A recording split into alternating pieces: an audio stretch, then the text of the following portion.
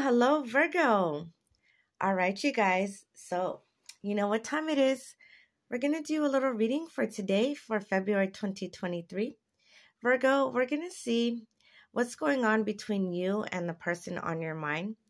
But more specifically, what are they saying about you, Virgo, for February 2023? I did a pre shuffle here just to make the readings go by a little bit faster. All right, Virgo. So let's pull out a couple cards, a couple cards here. All right, Virgo. So we have the star.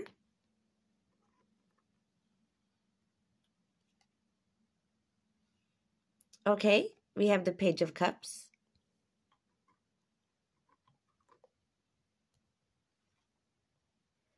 And we have the four of pentacles. Okay, Virgo, so let's get to the first card here. All right, Virgo, so we have the star. So, Virgo, your person tells everyone that you guys are a dream come true. You are the greatest wish fulfillment here. Uh, for those of you, if you guys are in separation from your person right now, they say that they want to heal this connection with you here. All right. They say that you guys are very loving. You guys are an inspiring person. They admire you guys always chase your dreams. You guys pursue your passions. And you guys always encourage other people to do the same. They also say, Virgo, that you guys are a tremendous healer. You guys heal those around you. They also say that you guys are blessed by God and the universe, all right, just for being who you are and for being a service to others here. For some of you, Virgo, your person could be an Aquarius, all right? For those of you, if you guys went through a permanent breakup, all right, your ex, your former person, they're telling everyone that they know you guys have completely healed from their breakup with you. And they know that you guys are getting your confidence back. And they also suspect, Virgo, that they think you're ready to move on from them, okay? Now, for those of you, Virgo, if you guys are in a relationship, both of you guys have survived a very rough patch here, all right? And they're telling people that now is a time for both you and them to heal this connection, all right? Your per your person is also telling people their ideas. Oh, excuse me, on how they can heal this relationship with you. Okay? All right, Virgo, so let's get to the other card here. All right, Virgo, so we also have the Page of Cups. So, Virgo, your person tells everyone that you guys are a dreamer, you guys are emotionally sensitive, you guys can be a little immature or naive at times, but they also tell people that they know they owe you an apology for something. All right. For some of you, they owe you an apology for hurting your feelings. All right. Some of you, it's for disrespecting you in public. All right. For others, they owe you an apology for keeping secrets about something important. Okay. Uh, for some of you, Virgo, your person is a water sign. All right. They could be a Cancer, Pisces, or Scorpio. Your person also, they're telling people that they want to surprise you with some kind of gift or some kind of offering here. Because with the Page of Cups, this is all about giving some kind of apology or emotionally off, emotional offering, okay? And the Page of Cups is a person who could be also very immature and they could also be a daydreamer here. But mostly the Page of Cups is all about giving something to someone else, okay? All right, Virgo. So let's get to the next card. We have the Four Pentacles. So Virgo, your person tells everyone here that you guys can be very frugal. All right. You guys have very strong boundaries. Your person also says you guys can be overly guarded or reserved. Uh, sometimes they complain about you guys being possessive over them. Okay.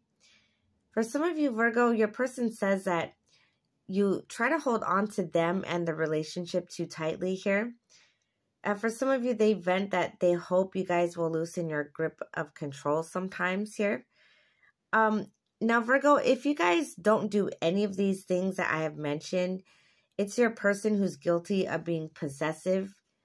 All right, possessive and controlling. Your person admits that they need to they need to release the need to control you or try to control the connection.